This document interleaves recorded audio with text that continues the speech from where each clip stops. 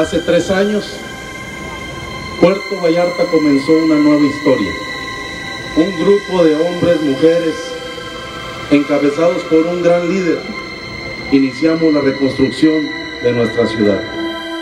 Hoy la ciudad está mejor iluminada, hoy tiene una mejor vigilancia, hoy tiene más playas certificadas, hoy cuenta con más calles pavimentadas, hoy hay más familias que viven en hogares dignos, hoy hay más familias que reciben apoyos para la educación, hoy seguimos siendo una ciudad libre de contaminación visual. A partir del primero de octubre comenzamos un nuevo ciclo.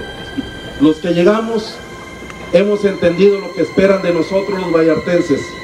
Quieren un gobierno que tenga más equilibrio. Sabemos que además de apoyos sociales, necesitamos generar empleos.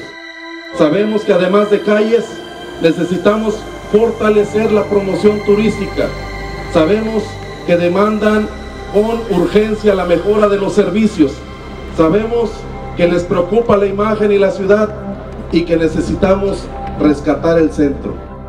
Quiero decirles que no serán defraudados, pero vale la pena señalar que hace tres años las condiciones de abandono en que estaban las colonias de la ciudad obligaban al gobierno a voltear a ver a los que menos tienen.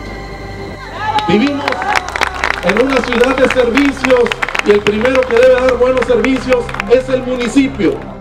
También quiero decirles que seremos una administración que trabaje con la sociedad, con las universidades, con los grupos organizados y los organismos de representación empresarial con total apertura. Como lo dije en campaña y lo digo ahora, seré un presidente que escuche y se deje ayudar. No se trata de palabras vacías, se trata de mi compromiso en el que empeño mi palabra. Que no quede duda, gobernaré con todos y para todos. Y juntos vamos a sacar adelante los retos que nos vienen. En campaña mencioné cinco ejes sobre los cuales construiremos nuestra visión de la ciudad.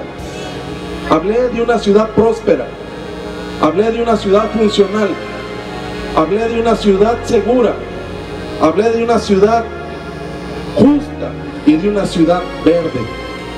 Cada uno de estos ejes nos obliga a pensar en un modelo de ciudad donde haya empleo, donde haya una infraestructura digna, donde haya un espacio público seguro, donde haya igualdad y donde exista un respeto y cuidado al medio ambiente. El puerto que queremos debe ser más humano. El puerto que queremos debe ser más próspero. El puerto que queremos debe ser y estar unido y con rumbo claro. El puerto que queremos debe ser ordenado. El puerto que queremos debe ser justo. El puerto que queremos y que es el Vallarta de mis amores debe rescatar su identidad sin pelearse con el presente. Debe ser incluyente, vivo, dinámico, una casa común, una casa para todos los visitantes y los que vivimos aquí, los patas saladas, un solo puerto,